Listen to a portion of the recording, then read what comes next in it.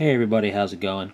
Uh, just a quick update. I'm way behind on my Thousand Sons. I got essentially six-ish hours of of solid painting time and guaranteed painting time left before I pretty much have to have them done. And I haven't touched the 16 infantry yet, but we got their heads, which I'll get back to in a minute. They're the purpose of this video. All the backpacks out, some weapons, and all the bodies built on the base. And I also have the four vehicles done three rhinos and a vindicator. These guys are actually done like on Monday, I believe. Well, the vindicator is on Sunday, and the other three were done Monday. There's still pics of them on the Fortress Monastery blog if you want to see it. So, on to the uh, point of this video. Heads. I did a blog post on this already months ago on how I make my Thousand Sons heads. And pretty much, it falls down to Warhammer Fantasy heads uh, from the Chaos Warrior Regiment box, and then the plumage is from High Elf Archer and High Elf Warrior boxes. The Warrior box only gives you the double plume that I believe I showed you in a little progress report of the five combat squads. And definitely on the Fortress Monastery. And um, the rest are obvious. Um, now, how, how I use these plumage pieces is I use the crescent moon and the regular single feather for my generic troopers. And I say the more extravagant plumage, like the double and the triple, and the triple with a crescent moon on it, which I don't have here because I don't need them for elites and commanders and whatnot. So that's that. First thing you do is obviously clip all the pieces off the sprue, and you'll get the heads that look anywhere, something like this. This is one style of, oh, let's get, get better lighting.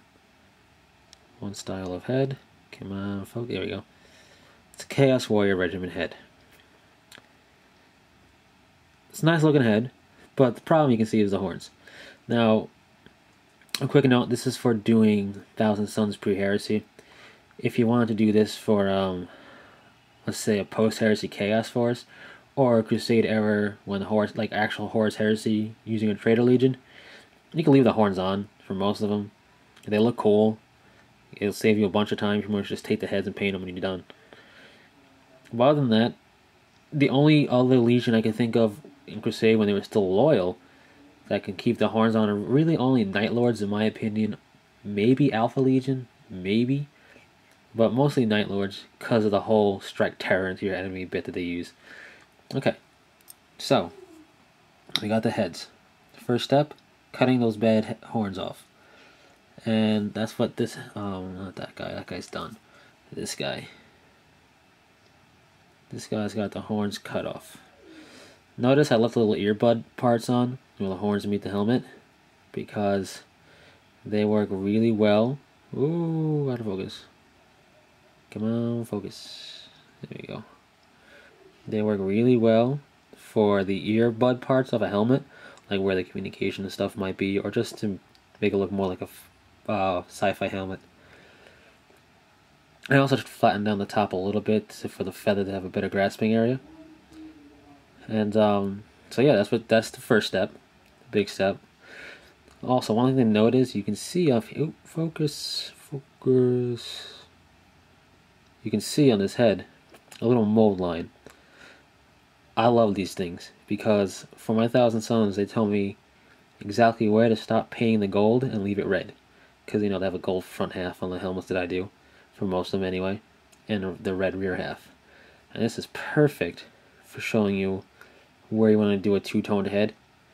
Like split like this, on where to start and where to stop. Or where to stop, I should say. So if you want to do like an ultramarine helmet, who's got, remember the honor guards, he has a gold face mask, it works. If you want to do uh, Night Lords and paint up like, I don't know, bronze or white, you can do it there. If you want to I don't even know. I can't even think of two-tone color. Pretty much gold. Anything really. Pre or post heresy. It's really nice. Um, you could clean it up if you don't use it, but it's kind of not noticeable. I know some of you perfectionists out there are like, ah, mode lines, must clean it. But um, for two tones, I think it works perfectly to stay there. Alright. Second step. choosing which of the um, bits to put on your helmet for the plumage. Once you choose that, I the, the last step is gluing them down. Uh, focus. Full, there we go. This guy has the crescent moon thing on. They're kind of finicky to glue because it's a round surface. You can trim with clippers or file down to make them flat for better fitting. And just take time with it. Take time, be patient, uh, and you'll get the fit you want. Now, only thing to talk about, I talked about the earbuds before. And let's see if I can find the helmet. Um, here we go. This guy, this helmet, looks great. Problem is, you can see the earbud parts way too high and they're not even the right shape. Now it doesn't matter, they don't have to be circular, but they're kind of an odd triangle with a curve in the back. And they're um, way too high to really be ears. For stuff like this, if you're not leaving the horns on, it's fine to uh, cut the entire part off flush with the helmet, and that gets you this guy, who uh, he still looks good for purposes of the model, especially when painted, but uh, no earbuds on him. Okay, one other thing to note when you're doing this, I know people use Zap-A-Gap, I like Zap-A-Gap, I use it. I suggest highly, since this is all plastic pieces, to use plastic glue. Um, I use Games Workshop's plastic glue. I don't know. See, I almost have it actually. I don't know if it's universal for all plastic glue, but this one doesn't stick to anything but plastic. So if you get on your fingers, it doesn't bind them together. It doesn't stick your fingers to the model. And this is why I recommend plastic glue in general. If it if they all do that, and if not, the Games Workshop one, somebody can correct me on which one does what, or I should say, if the other companies do the same thing. And the reason why I suggest it is, I mean, look at this. This is a small piece my thumbnail is huge in comparison. And then you gotta put on the helmet, which is not a lot of room. And you want to uh, get on your helmet and get it positioned so it's not on an angle really, or not on too much of an angle, and hold it there while it cures a little bit. And Zap-A-Gap will get all over your fingers, even if you're very careful. Any other glue will get all over your fingers, and it's not so much the problem with the glue getting on your fingers and sticking to your other fingers. It's when your finger sticks to the model the helmet or the plumage and breaks the piece off from the head or sticks to your finger and not the, the helmet, that's the problem. So that's why I recommend the plastic glue. Um, if they all do it, then get whatever one's cheapest and has the most volume.